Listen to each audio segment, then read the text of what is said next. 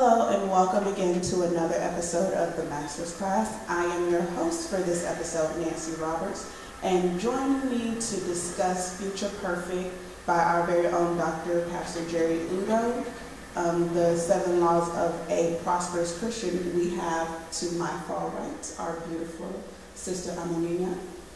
We have our ever brilliant Minister Tito, and we have our most excellent Sister Soleil.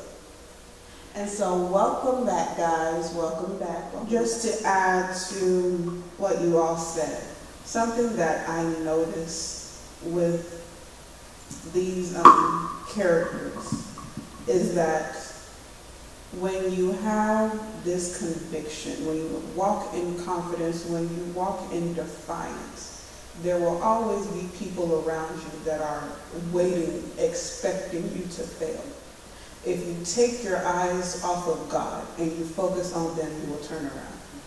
You, you will fail in the journey that God has sent you on. But once you place your focus solely on God and you know that you have already prepared and that God is backing you, once you, you, have, you will have this supernatural boldness to walk into any area, to walk into to walk before the king that did not send for you, to stand before Goliath that, you know, has destroyed everybody that has stood before him, to to say to say to the king or to defy the laws that the king has said and said, no, I'm going to continue to pray. There's this boldness that you receive that even when the entire world is waiting for you to fail, you will know that God has already won the battle before. He has already won the battle for you. You just have to step out and do what he has called you to do. And so lastly, for this chapter, we're going to read, you are to match actions with, with words. Minister Okay. You are to match actions with words. And lastly, the law of defiance forces you to match actions with words. You see, it is in tough circumstances that the law of defiance is needed. When obeying this law, you must not just say, stay stagnant. You do something, you move.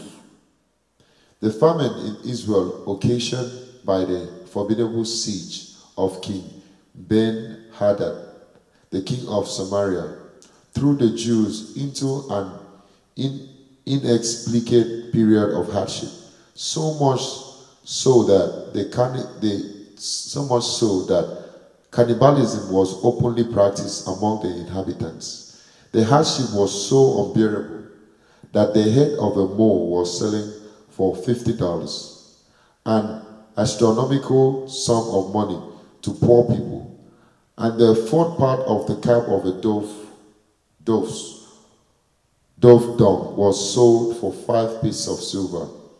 That's approximately three dollars. Second Kings 6 verse 24.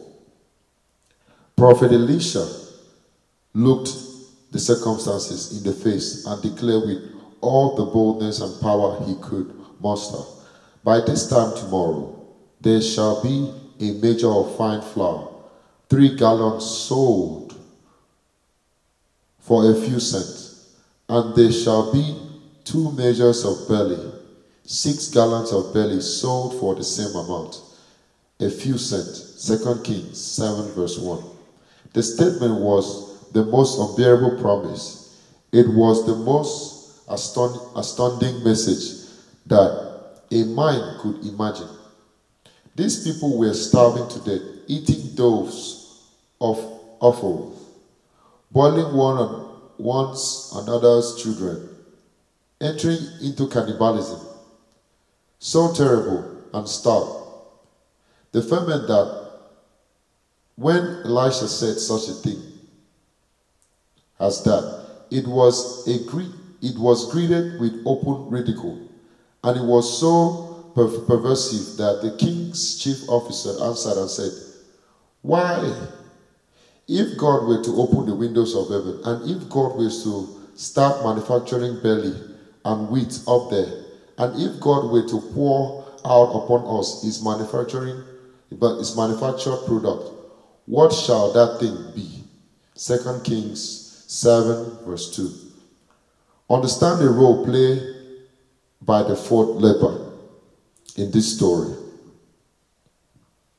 There were the dregs of the earth, the reject, the reject, condemned to live in isolation and to die on unsung. Going inside Israel was not a dream because they were already thrown out from there. Staying where they were at the gate was not an option unless they were prepared to die of starvation. And going towards Samaria was not a thing to even begin to contemplate because to do so would mean to shorten the time of their impending misery, miserable deaths. But these were no ordinary lepers.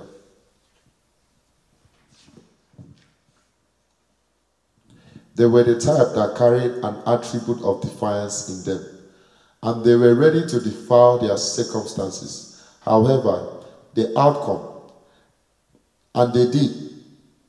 They, they haggard, limping lepers marched slowly but boldly towards the Samaritan army, where at least there were a slimmer of hope of food. What a surprise!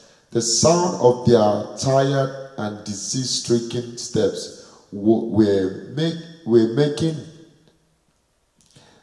the sound that their tired and disease-stricken steps were making became magnified by God into a thunderous burst of thousands of donkey feet, galloping with mighty warriors towards the Samaritan. And they took to their heels, leaving behind an unprecedented and much needed food supply for the lepers. See what obeying the law of defiance can cause God to do. Amen. Amen. And so, what what struck to me in this whole um, story from Prophet Elijah and the lepers is that oftentimes when we step out when we're convicted and we step out to do something for God. A lot of times we don't know how it's going to get done. And but that's the point of faith. You, you don't know how it's going to get done. You just know that you're trusting in God to do it. So as Prophet Elijah was making the decree, the lepers was just looking for some food. But God used both circumstances to fulfill the, the proclamation that was made by Elijah while also providing food for the lepers. And so God is always putting things in place. It's just up to us to defy our circumstances, to go, to step out in order for all things to come together to work for the good of those that love in him. And so, Sister how would you add, or what, what did you take from this story of, you know, this serious famine that was happening and how God used the lepers to fulfill everything that uh, Prophet Elijah had spoken? Well, um, a lot of things um, in this um, chapter is, I mean, um, got my attention. Uh, first was um, the, the famine. The famine was unthinkable. People were eating people's son, other people's son. So can you just imagine? This is like unthinkable, you know, in modern times and thinking that people are eating other people's flesh. That's hope. Um, that that was that was one thing. So the hardship was terrible, was painful, was I mean was unheard of. Um, and you see that God positioned Elijah as his uh, prophet he was the voice of God. He represented God in this season, in that hardship season. And when he prophesied that there will be um, there will be food, there will be, you know, there will be um, abundance. And you see that the officer of the king doubted the prophet. So, which is the, the things that we've seen before. Um, Elijah was so convicted. However, the officers, ministers of the king, um, doubted him, doubted God, ridiculed him, and saying that, oh, can God do this? How he's gonna do it? And um, he made fun of that. But, you know, Elijah told them, by tomorrow, by this time tomorrow, Elijah gave a timing. One thing that I do, um, that I do um, observe, that I do see in all those stories, there's always a timing with God.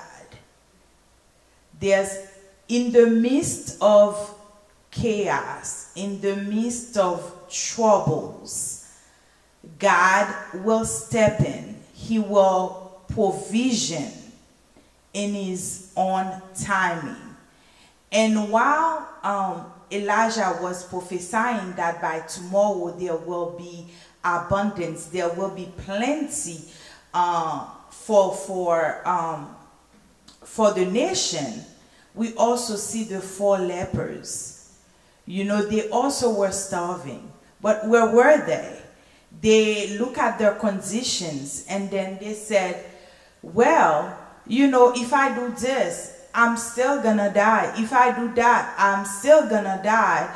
But may as well go to the camp of, you know, and then if I have to die, I will die. But I will take the risk to go onto the camp. And then, and this is the risk sometimes you have to take. Not looking at your conditions. They were lepers. I mean, in the Bible, lepers are people that are rejected from society. Um, they are people that are sick, you know, so um, they are outcast from the population. However, those four lepers didn't look at their situation. They already know they are the outcasts of that, you know, of that population of the world. However, they did not, they did not lament on their condition. They already know, you know, their condition. But they were willing to take the risk to still give themselves a chance. Sometimes you, you have to look at yourself. You have to look inwardly and then face your situation and allow yourself to come out of that condition.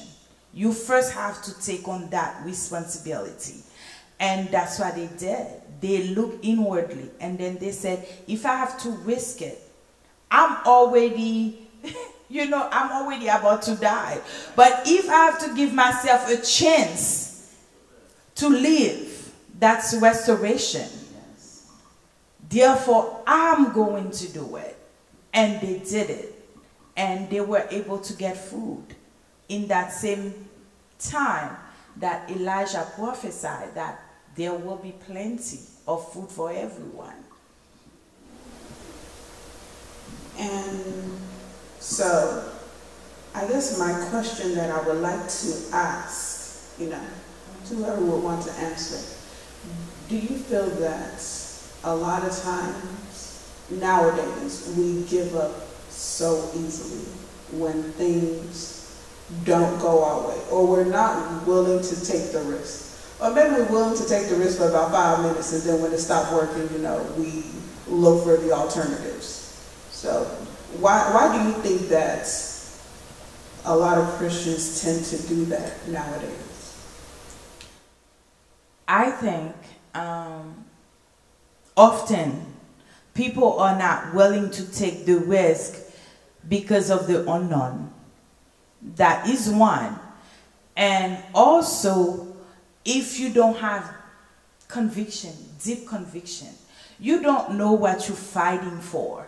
You have to know what you're fighting for in order to take a risk, in order to, you know, to, to really get out of the condition that you're in if you want a change. So you have to have deep conviction. You have to know who you are. And then as a believer, it's like ultimately, who are you in Christ? And then not only who are you in Christ, but do you know God for yourself? Who is God for you? So if you box that God as some ordinary or that, you know, just an idea or a conception, therefore, yes, you're going to just not go for what you need you're not going to take the risk. But once you know who you're serving, once you know who that God is, what he can do, therefore, this is that deep-rooted conviction. And you stand on it, and you'll be able to, um, you'll be able to amount to anything, really. That's true. Sister Sylvia? I do agree. I do, I do agree. Uh, 100% is your roots. So I do agree with her. Um, the things of God, you have to be firm. When you put, um, like the heading said, your words should match your actions. If you don't make a move, nothing will work. And that's how, um, in our day-to-day -day life, we give in so easily. It's because of fear. We go back to fear. But now, fear will always be there. But then your roots in the things of God, um, your intimate relationship, your studies, uh, your prayer, your fasting, you know, those things prepare you like how David was prepared and, and, and Daniel was prepared to say, God, I'm not going to bow to this man. If it was anybody today, they might have bowed down and then go back and say, God, forgive me. You know he's the king. He was going to kill me. But you know, Daniel stood his ground. Daniel said that I'm not doing it because you are not my God. So he went back. And that just to tell us that everything that we do, we have to submit it back. Even though he has given us the ability to vision but then we'll still give it back to him, God. Is this really you? Are you telling me to do this? And then when he, uh, you know, give you an affirmation, he confirm a revelation, you take action. Yes, I see. Um, I just, uh, I, I, I don't want to add to what they're saying, but I just want to give my comment on what I read. I think what it says, match your word actions with your word. You know, um, people always say like you can't talk the talk if you can't walk the walk you know and that is and there is a funny thing that talking and working walking is just two words that just change it if you is the w and the t that just they all sound like brothers you know so and they both go hand in hand and that is why there is this word said in Igbo, they call it Ekwueme and we have known God to be uh, talk and do is the talk and do God. So, and that's the comment I wanted to talk, step in there. But in regards to this, we have always known the Bible to carry so much comprehensions. Like, we know that the Bible is an embodiment of prophecies, and they all, the funny thing is that they all start with P. Prophecies, promises, principles, proverbs, and parables. And purpose, tell you want to add, the P is a lot. Purpose, prophecies, parables, uh, promises, and principles. They are all embodied in the Bible. And this, this is one thing that I, I am so glad to highlight. The thing is that risk itself comes with fear. And permit me, like Paul said before, the Paul always said, um, um, Paul said, um, This is not the Spirit of God talking. This is me talking. I will put it like faith without risks is dead.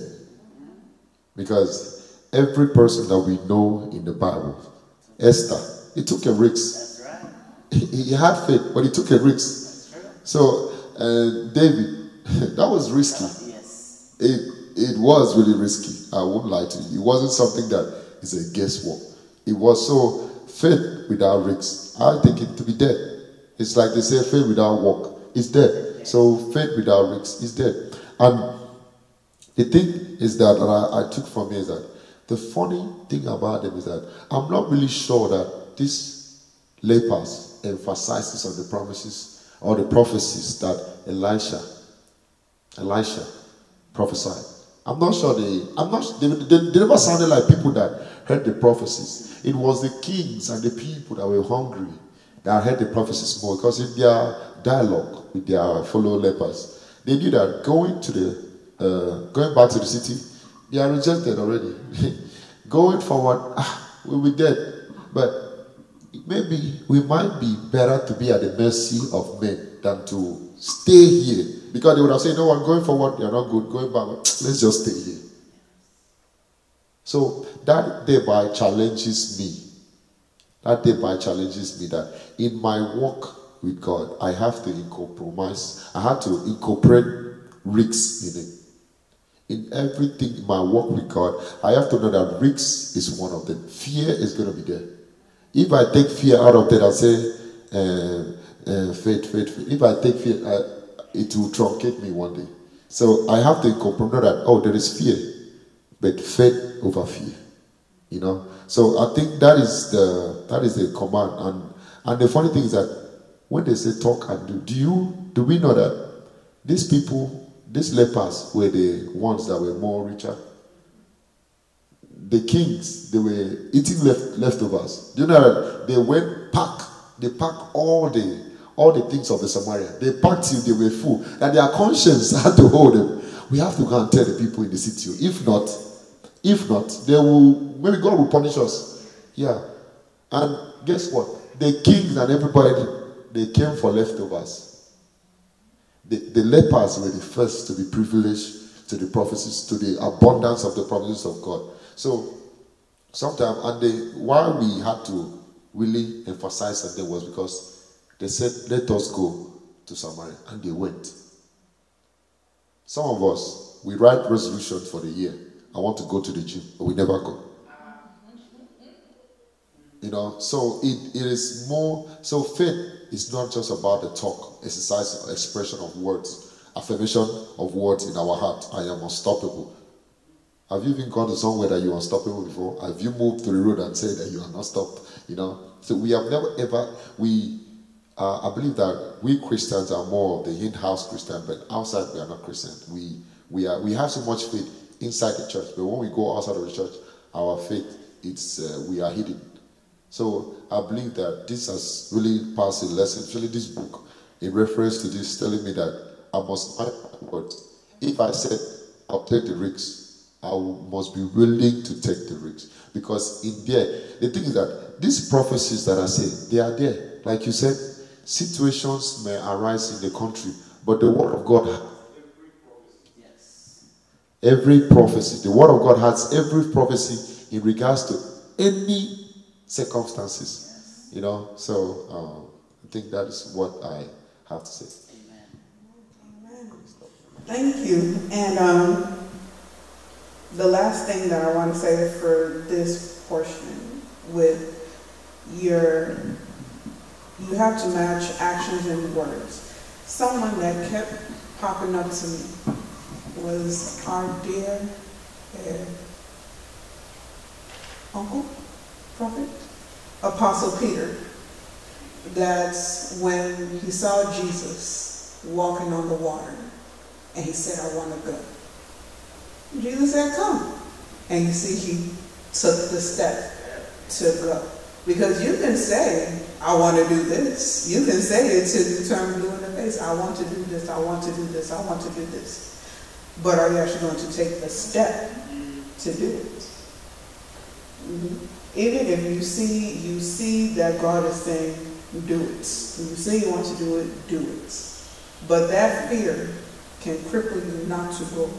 But are you willing to take the risk uh, to just step? Even if you sink, are you just willing to take the risk to step? Yeah. Even if I die, at least I took the risk. A lot of successful people took risks. They said, even if I don't succeed, and yeah, every single oh. successful people oh, took risks. You, know. you can't just say, oh, I don't, I, I don't want to be poor. What are you willing to do? Are you willing to take your last hundred dollars and invest it in the stock markets on a business that you don't uh, start a company? Are you willing to take the risk? Because many people have done it, and they blessed the day that they did that they took that risk. So just as people in the world can do this, how much more of us with the backing of God to be able to step out and take risks. You see, God is not God is not a God that's just going to have a He doesn't want his children to be lazy. You have to step out and do something if you want what you say you want. God has given us everything that we need, everything to succeed. It's left to us whether or not we are willing to back our words up with the actions, to walk in that conviction, to defy our circumstances, and to say, okay, God, I'm going to do what you have told me to do. Whether I succeed or I fail, now is, that eh, one's left to you. I have taken the step. So as long as I take the step, just continue to meet me where I'm at. Meet my match my faith. As I put my faith in you, match. And God will do it. Mm-hmm. And so now we are going to chapter three. Components of the law of defiance. Okay. There are two critical components to the law of defiance faith and divine authority. Some people exercise faith but lack the knowledge to exercise authority when it matters. In comparison, others appear to exercise authority but lack the requisite faith to fire it, to fire it up. Therefore, for the law of defiance to function effectively, both components must work simultaneously. When faith matters most. Exercise of faith is the understanding, the conviction, and the absolute non-shaking reliance in the power of God to do what he says he will do, especially in the face of negative or non-conforming observed circumstances. This system throws up some things to ponder over. Faith is tested in adverse circumstances. When you are at your wits' end, when everything seems to have fallen apart, when many things do not seem to make meaning anymore in your life, and yet everything is begging for answers. That is when your conviction of the ability of God to deliver and honor his word is put on trial. Trials, accidents, problems, sicknesses, societal and familial pressures, and tough circumstances test your faith. That explains why Peter, the apostle of Christ, had to make this statement in 1 Peter 1 6 through 7. Wherein ye greatly rejoice, though now for a season, if need be, ye are in heaviness through manifold temptations that the trial of your faith, being much more precious than of gold that perisheth, though it be tried with fire, might be found unto praise and honor and glory at the appearing of Jesus Christ. The trials and the prom- the trials and the problems and the difficulties that come into your life come not only to test but to prove your faith in God. It is easy to claim to have faith when things go your way. It is easy to believe that God will do it when you do when you do not have to pray too hard and too long to get that next job. When you when you are yet to get that big breakthrough and yet you are not doing badly at all, the excitement you display of the opportunity of God to still prove himself would not be lost on others. But true faith shows up when a combination of factors have has consolidated their strength, strangleholds on and rope you into a corner with no humanly apparent way of escape. True faith becomes apparent when your circumstances appear to be at variance with the words of God you have grown accustomed to all these years.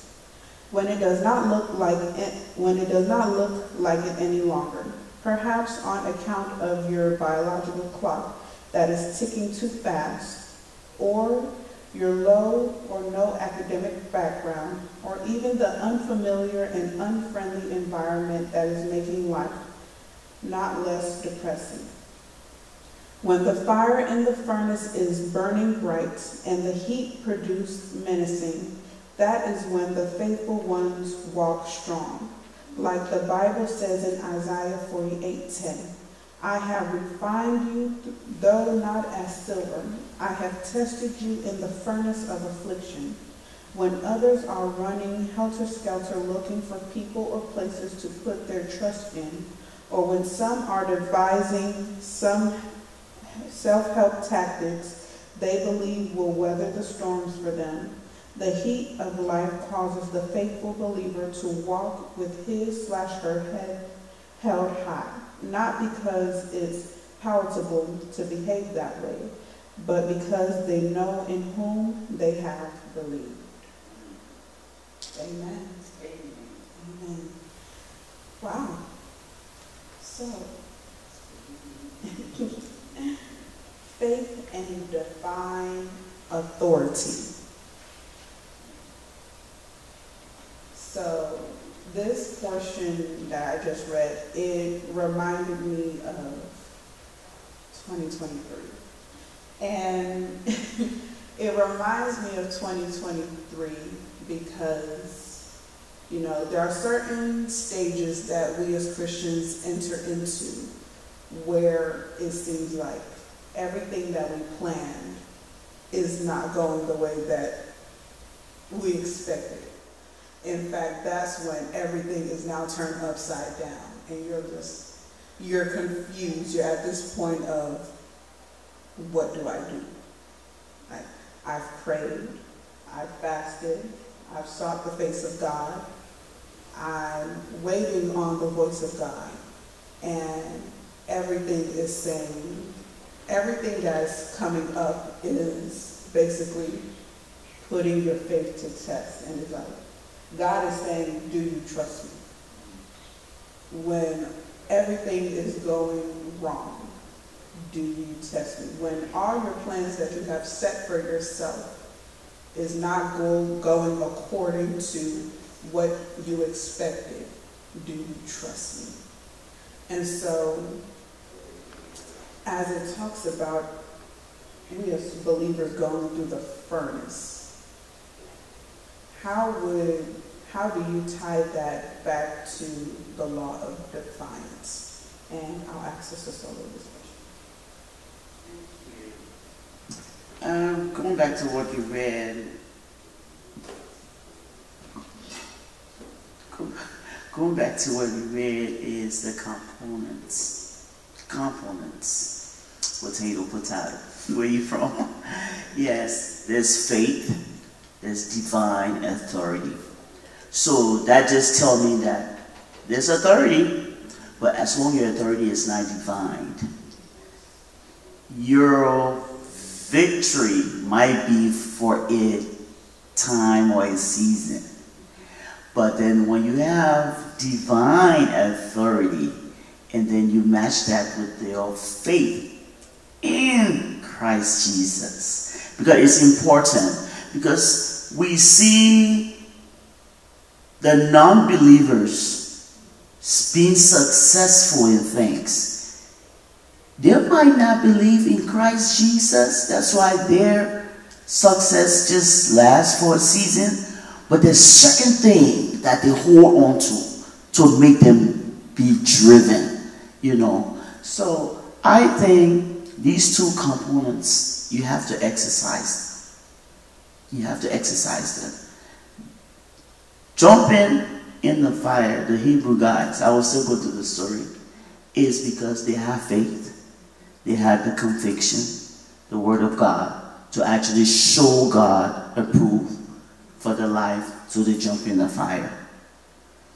You know, that's that's what I take from it. That you have to make these two come together. You have to exercise these two. It still go back to our last um, passage that our words have to match with our actions. Amen. Okay, um, my comment on this is that as he highlights that where faith is needed the most, um, and it, it, shows us all kinds of um, tragedy or things that, or afflictions that my uh, come around or like encompass a Christian. And this is in the midst of this. Do we have faith? And the faith is that are we still knowing that even in the midst of this, God still got us? You know?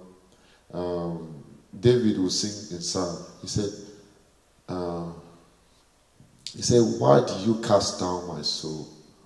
Why do you groan within me? But he said again, Hope in God, and I will praise him, my salvation and my God. it is contradicting. You know, if you hear him sing this up, you see that you say, Father, why do you cast down my soul? Why do you groan within me? But at the end of it, say, you know what? You are my salvation and my you are my last last. I can't go. Even though you are weeping me right now, even I'm in mourning, but you know that you are holy. It, it will so it, it gives me a consolation that it is okay. That is that is the difference between murmuring and I don't know, I don't know, but murmuring and when you are groaning within you. Murmuring and groaning, they are two different things. So it shows us like in our affliction, this is where faith is needed the most. You know, before we move to you having an authority, but because every every affliction, every situation, every negative thing that happens to a believer or a Christian, this it is there that your faith is tested. Tribulations, his faith was even it was strengthened even more. And so I just like to encourage everybody that's going through something tough right now that there's a light at the end of the tunnel and you should always pick up what God is trying to teach you in these seasons where he is taking you through certain trials and tribulations. Because what you learn in this season, you will be able to apply it to the next season. But if you don't learn anything, how will you be able to succeed in the next one? And so I'd just like to thank my lovely panelists once again for joining us.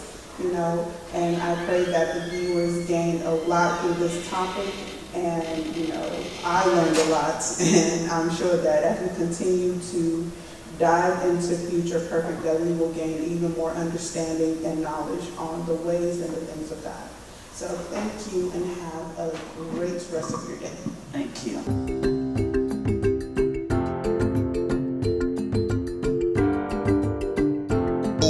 My friends, my family, my fans out there.